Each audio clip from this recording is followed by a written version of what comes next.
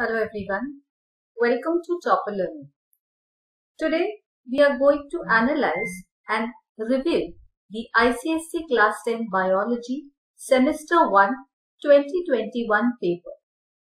After an easy chemistry paper, students were really hoping that even the biology paper would be easy and straightforward.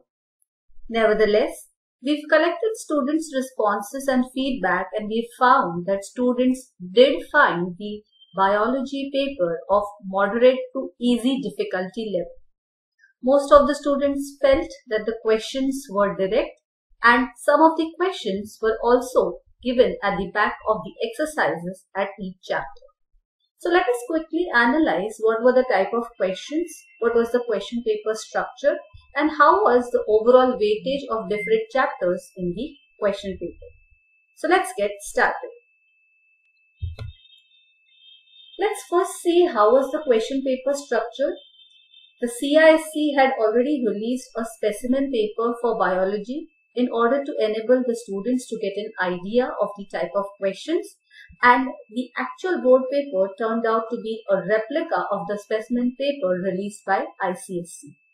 The entire question paper was of 40 marks and the students were given 60 minutes to solve the paper and this was inclusive of the reading time. The 40 marks paper was divided into 8 questions. These 8 main questions comprised of 5 sub questions for every question type. So let's see. Question 1 was name the following Question 2 was fill in the blanks. Question 3 was multiple choice question. Question 4 explain the terms. Question 5 mention the location. Question 6 state the functions.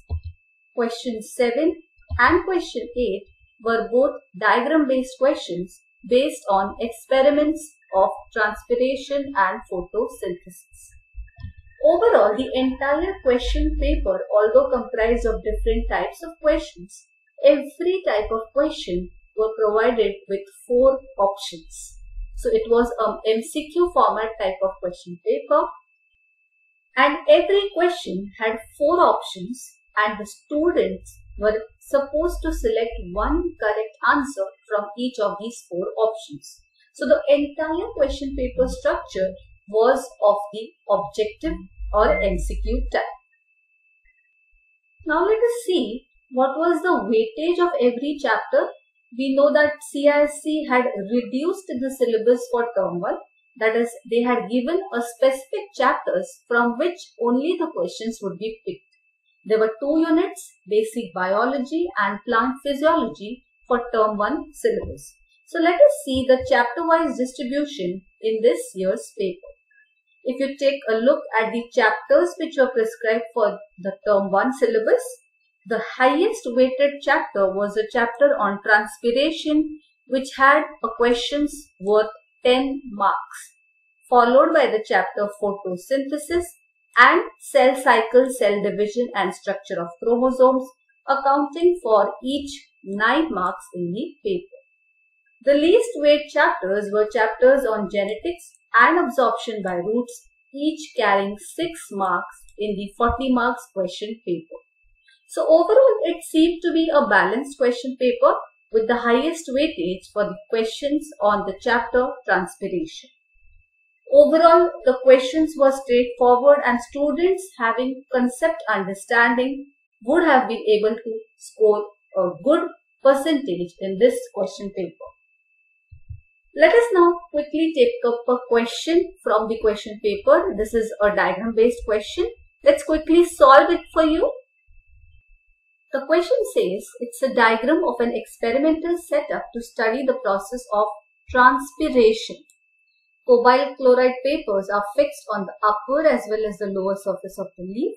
Let us now see what are the questions based on this particular experiment. Question 1. What is the aim of this experiment? Well, the answer to this question is option A. The question or the experimental setup deals with the process of transpiration and it is to prove that more transpiration occurs on the lower surface of a dicot leaf. Question 2. What is the color of dry cobalt chloride paper? Well, the correct answer is option B, that is the dry cobalt chloride paper is initially blue in color, which changes to pink color when transpiration occurs. Question 3.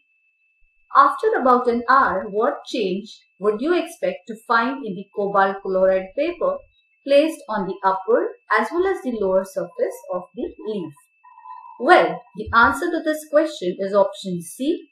The upper surface of the leaf would be less pink in color while lower surface would be more pink in color.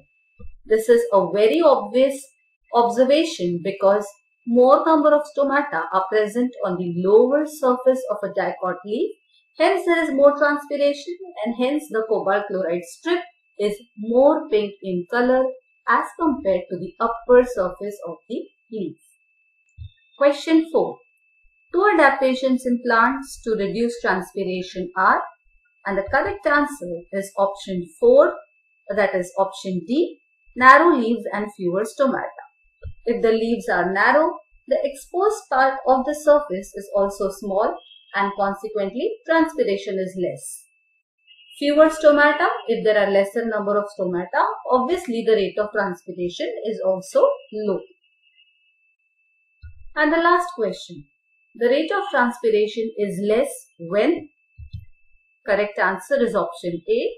High humidity and low temperature. In the presence of high humidity, transpiration decreases and when there is low temperature, the rate of transpiration decreases obviously because the rate of loss of water and the rate of evaporation is also low. So this was about this particular diagram based question paper asked in this year's ICSE class 10 biology paper.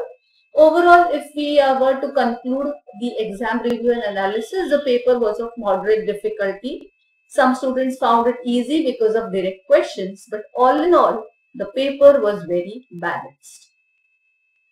Well, that's it for this year's question paper. Now that the major papers are done, the students can sit back and relax after a year's efforts and dedication. It's now time to enjoy your Christmas vacation. So stay tuned with Topper Learning for more engaging, more fun related activities and don't miss out the fun for semester 2 exams. Till then, take care, bye-bye and thank you so much.